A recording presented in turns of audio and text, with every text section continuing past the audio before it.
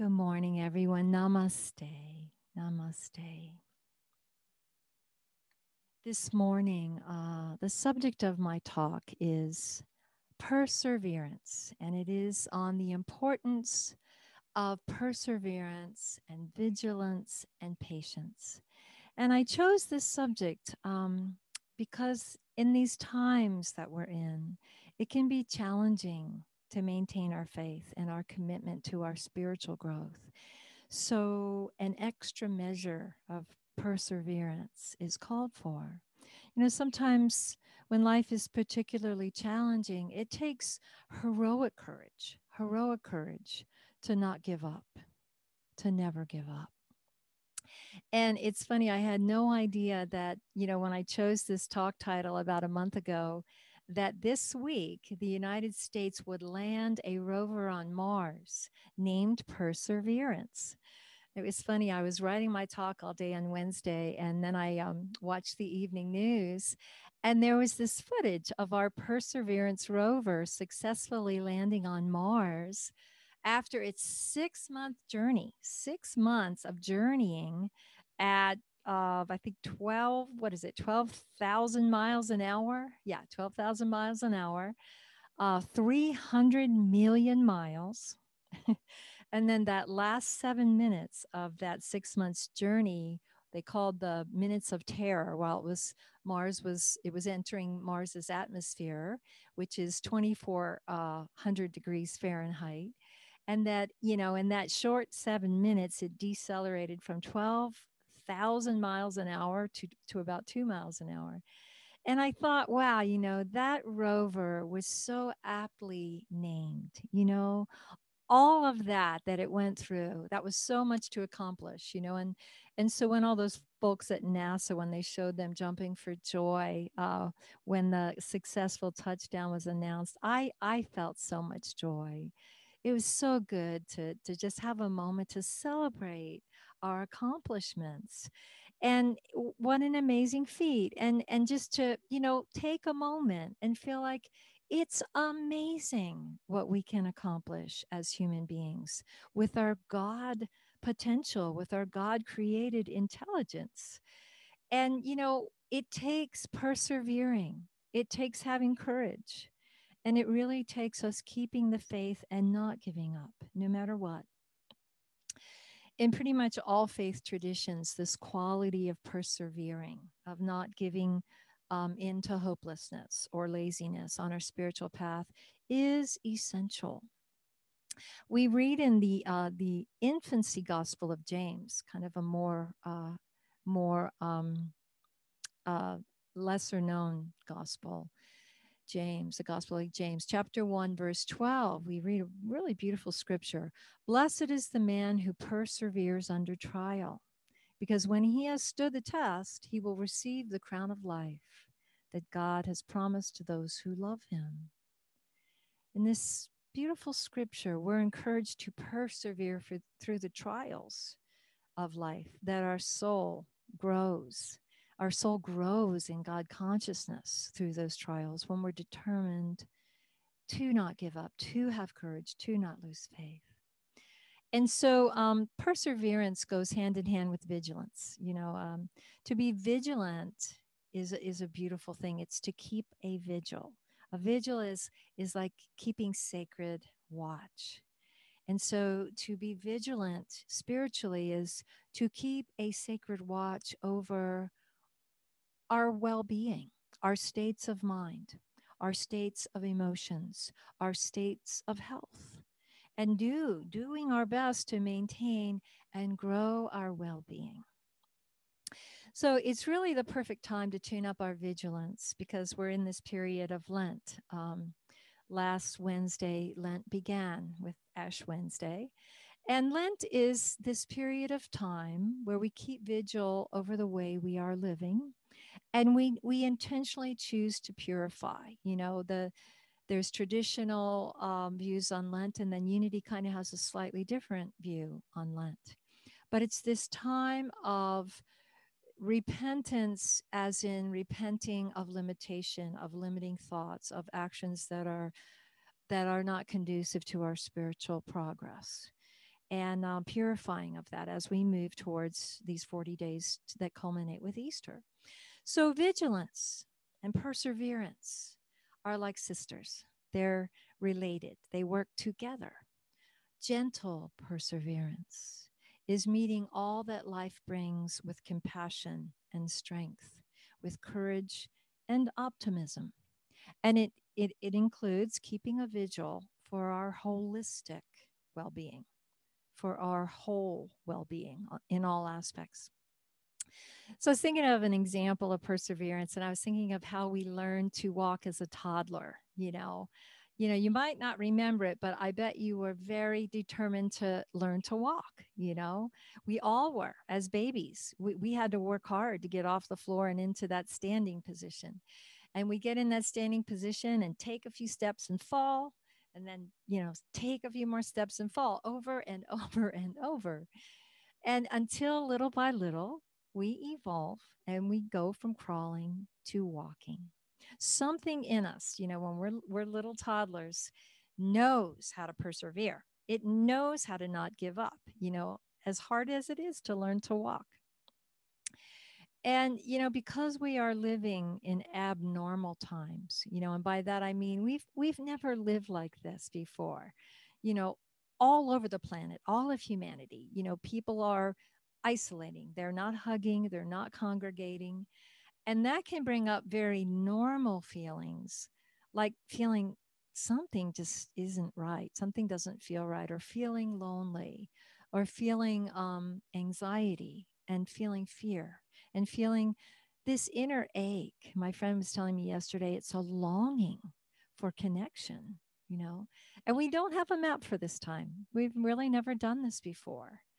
And so part of our being vigilant um, is our thinking and seeing if we can shift our perceptions from pessimism to optimism and seeing if we can turn our view so that what feels like limitation we can use as opportunity. And I know you've been doing this for this almost entire past year, but it's like we're, I feel like we're in the last couple miles of a marathon and we're tired of this. and I feel it, but help is on the way and hope is on the way. It's, you know, it's a time that calls and has called for deeper digging and fortifying in our perseverance and our faith and our trust in life. And also a time for applying all the teachings that we, all the wisdom teachings we've ever received to help us keep hope alive. And just like babies, learning to walk when, when you know we just focused on just taking a couple steps right? That first step that second step. It helps to manage um, it helps to break our challenges down into manageable pieces you know like just living today at peace just today being at peace. It's in aa you know they take they take it one day at a time you know don't don't try to think too far ahead and don't you know don't get too far out into the future it's kind of like, you know, when you're climbing uh, Mount Shasta, our mountain here is 14,180 feet. And if you've ever climbed up on it, as you get up higher, you get really present. It's just that next step. And that next step, then the altitude is thinner. And, you know, you just focus on uh, being present with that next step. There's a be- I found this beautiful um, scripture from an a- African traditional religion that reads, Life is like a hill. Mawu, the creator, made it steep and slippery. To right and left, deep waters surround it. You cannot turn back once you start to climb. You must climb with a load on your head.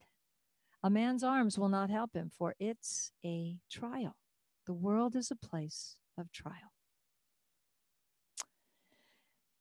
It feels that way sometimes, you know.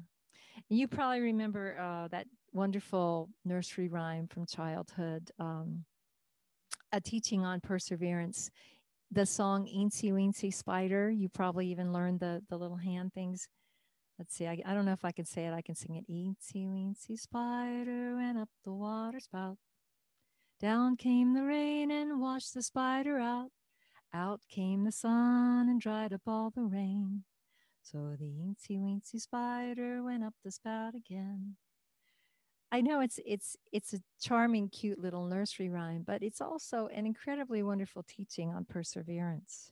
And there's a second verse that you might not have learned um, about success after perseverance, and it goes, "Then the little spider began to weave her thread of gossamer and silk. She spun herself a bed. Round and round she went till all her work was done." And soon a magic web lay gleaming in the sun. it's such a genius teaching for children on how to persevere. Persevere like a spider does. It's amazing the webs that they weave and the patience they put into that. And it's a teaching on not giving up when things are hard. The Jewish uh, Talmud reads Scripture credits with performance not him who begins a task, but him who completes it. So, perseverance and vigilance and patience, these qualities are so necessary for living successfully and especially in progressing on our spiritual path. I was listening to a, a talk that Amma gave a few months ago, um, Amma, the hugging saint. And she said, You know, I know this is a challenging time, you know, but whether we laugh or cry, the days will pass by. Decide whether you want to live laughing or crying. Happiness is a decision. Make the firm decision that we will remain happy and courageous regardless of the circumstances. Exchange words and messages that inspire enthusiasm and optimism. Being in this Lenten uh, season, I found a wonderful bit of guidance from Pope Francis about how we can fast from pessimism and be filled instead with optimism, feast on optimism. So let me read you uh, this passage that he wrote. It's so beautiful, it's perfect guidance. Do you want to fast this Lent? Fast from hurting words and say kind words. Fast from sadness and be filled with gratitude. Fast from anger and be filled with patience. Fast from pessimism and be filled with hope Fast from worries and have trust in God. Fast from complaints, com- contemplate simplicity. Fast from pressures and be prayerful. Fast from bitterness, fill your hearts with joy. Fast from selfishness and be compassionate. Fast from grudges and be reconciled. Fast from words, be silent and listen he's giving perfect guidance on how to be vigilant, how to keep a vigil of our state of being so that we can express more of our Christ nature. I think Allison, I think it was your post that uh, that I just love this beautiful, beautiful bit of teaching and guidance from Pope Francis. I found another quote that said we can think of Lent as a pressing call to vigilance against the snares of error thinking. like that. But I, I really um, especially relate to fasting from pessimism and being filled with hope and fasting from worries and having trust in spirit. Because my dear friend left this world on Tuesday. And, um, you know, he left very sad. And I, I've just been communing with his soul. I wrote him a song and I've been singing to it and singing it to him. And I've been feeling him actually receiving that support and you know just processing my feelings of grief you know and i you know i wished i could have done more to help him you know my song is about that i wish i i could have told you one more time how beautiful you are wish i could have sung you one more song and had you sing along and it's really part of why i chose to speak today on perseverance and on keeping our hope and faith alive you know, sometimes we need a little more help. We need a reminder that we're not alone, you know, that we have friends on the path. So I just want to say if you feel hopeless, please reach out. Call me call your friends, call for counseling. Tell someone you need help, okay? we cannot make it through life by ourselves. You know, we are all dependent on one another, and there is no shame, no shame at all in that it's like you know we couldn't have even eaten our breakfast today uh, without lots of others that brought us that food. We couldn't be on Zoom without other people right now making sure that the electricity's on and the technology's working. We couldn't have this church, our unity of Orville, without so many people's support. So we we need each other. That's how we're made. You know, and sometimes we need to reach out and say, I'm struggling. I'm feeling despair. You know, I need help to feel strong and courageous again. That's okay. That's okay. There's my heart. there's whew, there's a Buddhist scripture uh, from the Dhammapada that reads If one holds oneself dear, one should protect oneself well. During every one of the, the three watches, the wise man should keep vigil. We should keep vigilant. We should keep vigilance over our well being and reach out when we need to fortify it.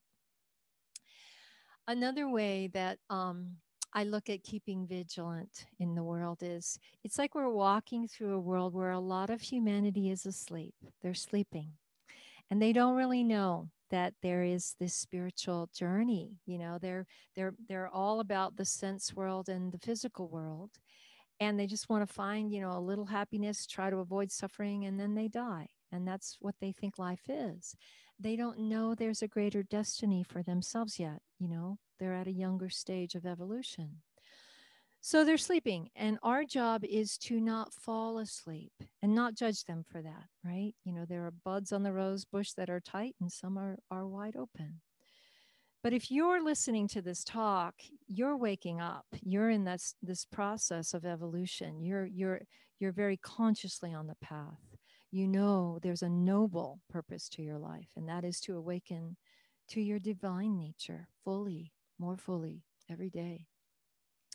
So even if everyone around you seems to be asleep, you have to keep a vigil. We have to keep a vigil and not get sleepy. And if we get sleepy, which we will, then get back on track, get some fresh air, so to speak, metaphorically. And, and we do that by revisiting our spiritual practices. The Dhammapada quote goes on to say, Heedful among the heedless, wide awake amongst the slumbering, the wise man advances as does a swift horse, leaving the weak jade behind. The weak jade, jade means broken down, worn out horse. It's old, old English.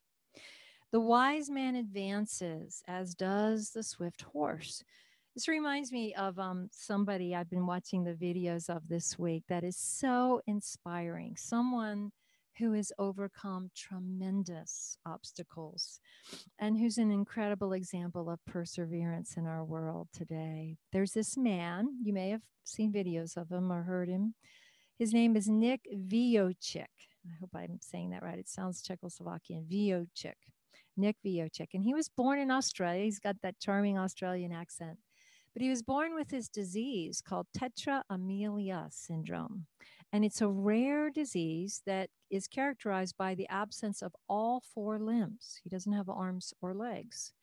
He does have uh, most of a foot, though, which allows him amazing mobility. But he was born with a really sharp mind and a really strong spirit, which he definitely needed because his childhood was hard. You know, he was bullied in school incessantly. And he even wanted, talked about wanting to commit suicide at 10 years old by drowning himself in the bathtub. And he wondered, you know, at that time, is, is there any purpose to my life other than pain and just this constant humiliation?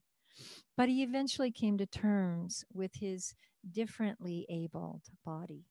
I, love to call, call it that differently abled. And when he was about 17, there was a janitor at, at his school that said, You have something to share with others that can help them. You're going to be a speaker.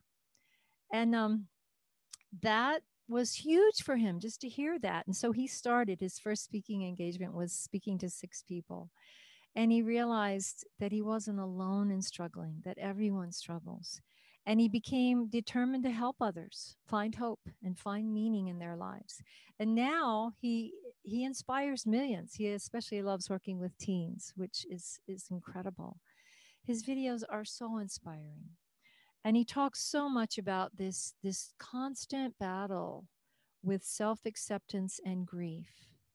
He talks about how he reached a turning point in his life uh, when his mother showed him an article of a man that was still happy, even though he had a disability.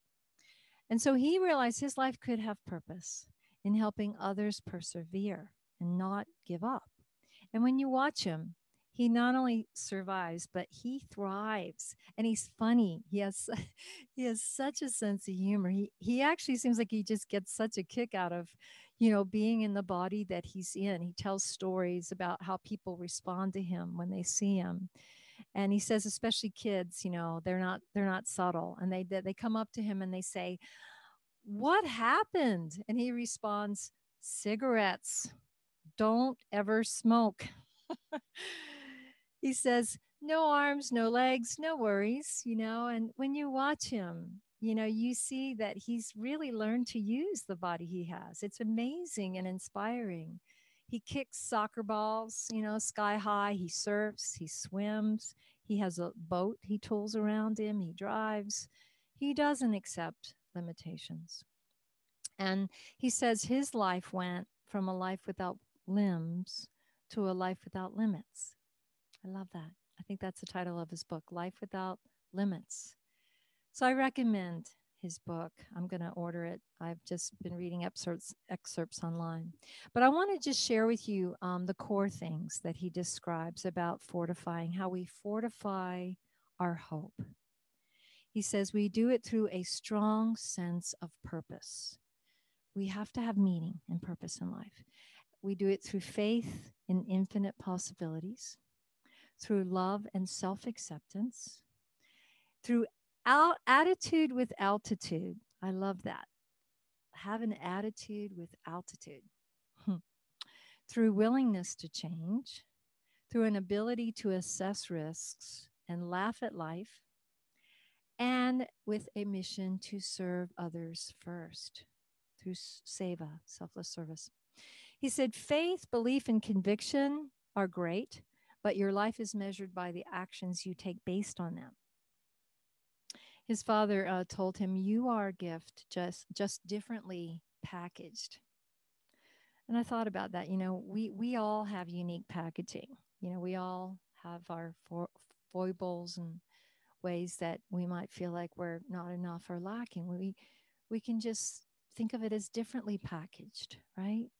and that we we can use his example right to turn our challenges into opportunities so in closing um, i hope this this talk has fortified your determination to persevere and to vigilantly cultivate what supports optimism hope and willingness to stay on the path of your own spiritual unfoldment may we all keep the open line to the divine and may we use the compost of life to grow the flowers of our heart and soul. Thank you all. God bless you. Love you all.